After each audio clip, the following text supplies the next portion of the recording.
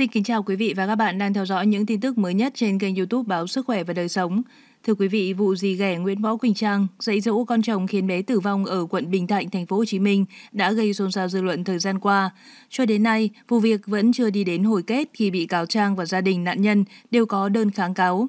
Do đó, sắp tới, Tòa án Nhân dân cấp cao thành phố Hồ Chí Minh dự kiến sẽ mở phiên xét xử phúc thẩm, xét xử công khai vụ việc. Sắp xét xử phúc thẩm dì ghẻ và cha ruột bé VA. Liên quan tới vụ xét xử dì ghẻ chút giận lên con chồng khiến cho bé gái tử vong, Tòa gia đình và người chưa thành niên Tòa án Nhân dân thành phố Hồ Chí Minh đã tuyên phạt bị cáo Nguyễn Võ Quỳnh Trang, 27 tuổi, ngụ ở Gia Lai, tổng hình phạt là tử hình.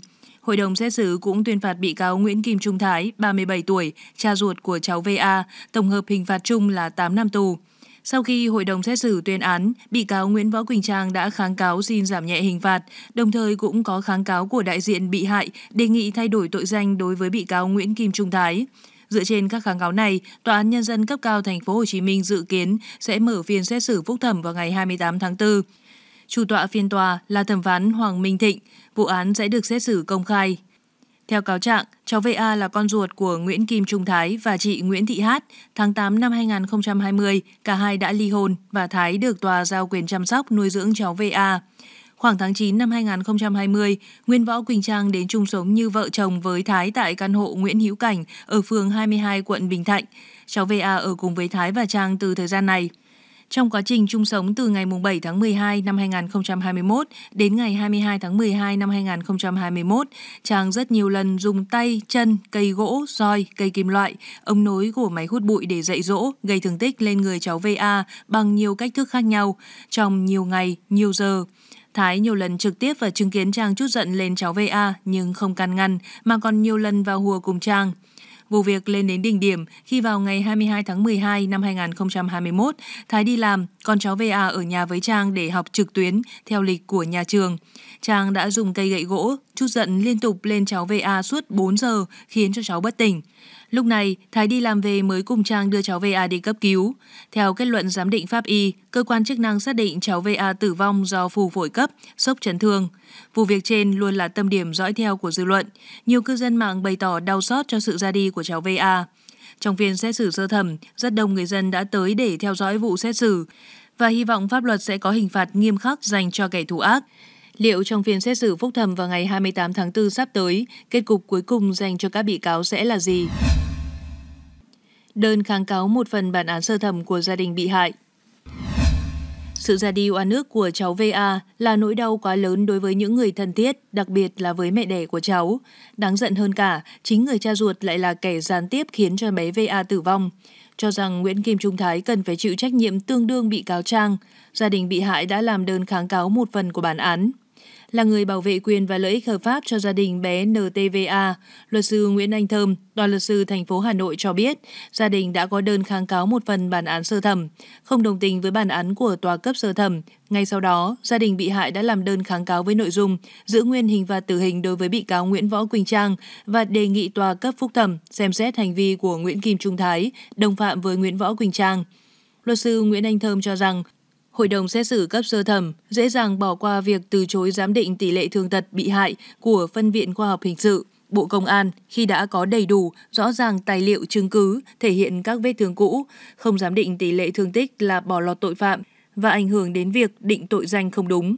Vì luật sư cho biết thêm, hiện nay hồ sơ vụ án đã được Tòa án nhân dân thành phố Hồ Chí Minh chuyển lên Tòa án nhân dân cấp cao tại thành phố Hồ Chí Minh thụ lý theo thẩm quyền xét xử.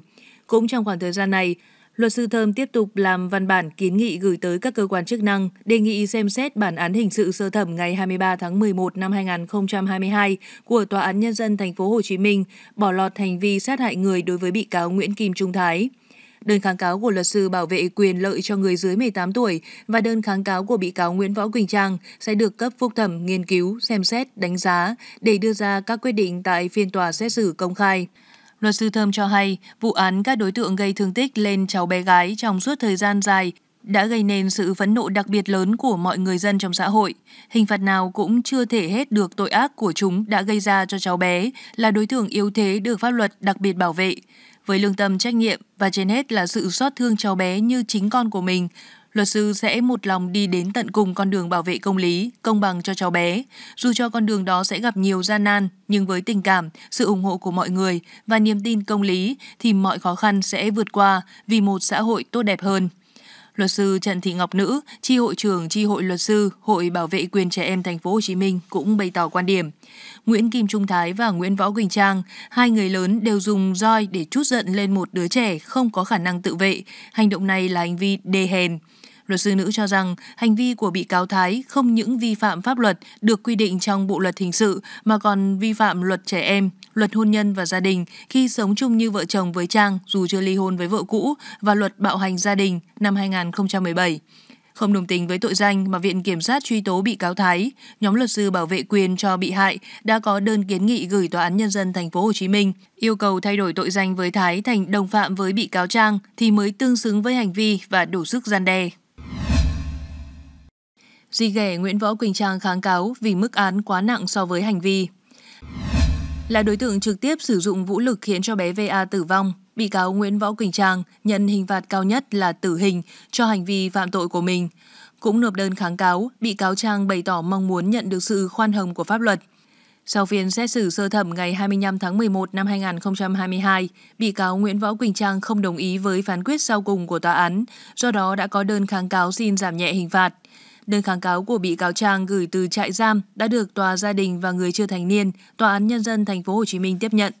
Các lý do xin được giảm nhẹ hình phạt tử hình trong đơn kháng cáo chưa được công bố, nhưng theo một phần nội dung trong đơn, bị cáo viết Tôi nhận thấy mức án trên là quá nặng so với hành vi phạm tội của tôi, vì vậy tôi viết đơn này kính xin tòa án nhân dân cấp cao tại thành phố Hồ Chí Minh xem xét giảm nhẹ hình phạt cho tôi. Trước đó vào ngày 25 tháng 11 năm 2022, trong phần tự bào chữa và nói lời sau cùng tại phiên tòa sơ thẩm, Trang cũng cho biết, trong những ngày tạm giam gần một năm qua, bị cáo thật sự ăn năn về hành vi sai trái tàn nhẫn của mình. Hành vi của mình sai với pháp luật, lòng dân. Không ngày nào bị cáo không dây dứt vì tội lỗi của mình. Bị cáo không bao biện, hành vi của bị cáo là sai, nhưng chỉ mong hội đồng xét xử nhìn lại về bản chất con người của bị cáo từ nhỏ đến lớn, không chơi bời, không tiếp xúc kẻ xấu, chỉ có đi học, đi làm. Bị cáo không lường trước được sự việc xảy ra hôm nay. Bị cáo Trang mong hội đồng xét xử xem xét lại tội danh để bị cáo còn đường lui, để sám hối tội lỗi của mình và chăm lo cho gia đình. Thông tin từ bài viết với tiêu đề Luật sư Kim Ronta nhận định về mức án với Nguyễn Võ Quỳnh Trang chưa phù hợp với chính sách pháp luật đăng tải trên báo điện tử Dân Việt.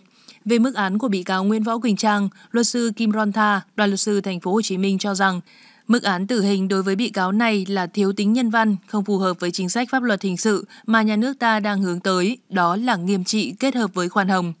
Luật sư Kim Ron Tha nhận định, xét xử sơ thẩm trước đó, Tòa án Nhân dân thành phố Hồ Chí Minh đã tuyên Nguyễn Võ Quỳnh Trang tổng hình phạt là tử hình. Theo luật sư Tha, mức án này thiếu tính nhân văn, không phù hợp với chính sách pháp luật mà nhà nước ta đang hướng tới đó là nghiêm trị kết hợp với khoan hồng, đi đến hướng thiện nhiều hơn. Hành vi trái pháp luật của Nguyễn Võ Quỳnh Trang đáng lên án và gây rất bức xúc trong xã hội, làm cho người bình thường nghe rất phẫn nộ vì hành vi độc ác, nhưng về khía cạnh khác thì cũng do lỗi một phần do từ những người có trách nhiệm nhưng lại vô tâm đến sự phát triển cơ bản của cháu VA. Cũng theo luật sư Tha, hành vi của Nguyễn Võ Quỳnh Trang là trái pháp luật hình sự, có tính chất đặc biệt nghiêm trọng, dã man, nhưng xét cho cùng cũng từ sự ghen tuông và tính chiếm hữu mà ra và có tình tiết giảm nhẹ là thành khẩn khai báo ăn năn hối cải. Vì vậy, đơn kháng cáo xin giảm nhẹ hình phạt của bị cáo có thể sẽ được xem xét ở cấp phúc thẩm.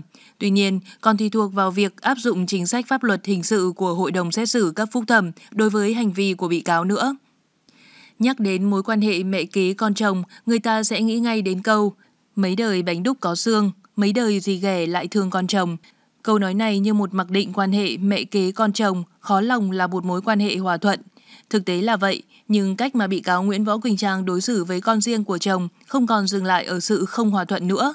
Đó là hiện hình của tội ác, của sự thù ghét đến mất nhân tính.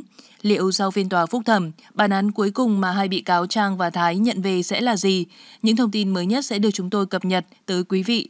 Cảm ơn quý vị đã quan tâm theo dõi. Xin kính chào và hẹn gặp lại.